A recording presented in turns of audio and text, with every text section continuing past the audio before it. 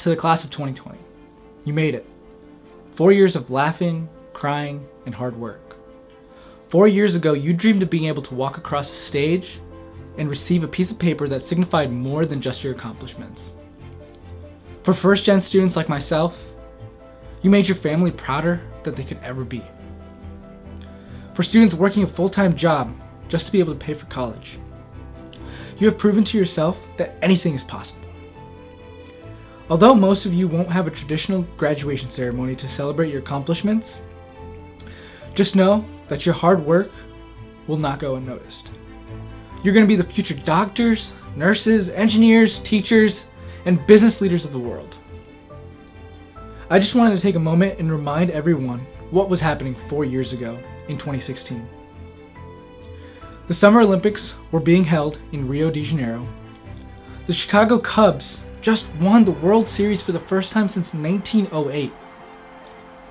Donald J. Trump was elected into office as President of the United States of America. Harambe, the gorilla, became the biggest meme of 2016. And finally, Pokemon Go was taking over our lives. So much has happened since those days, not all good, but also not all bad. It's times like these that we have to come together and remember the things that are good. The times that you shared laughs with your friends, the times you spent your Saturdays with the boys, and the times you celebrated your achievements with your family. The coronavirus has caused a lot of hardship for a lot of people. It has taken lives, opportunity, and so much toilet paper.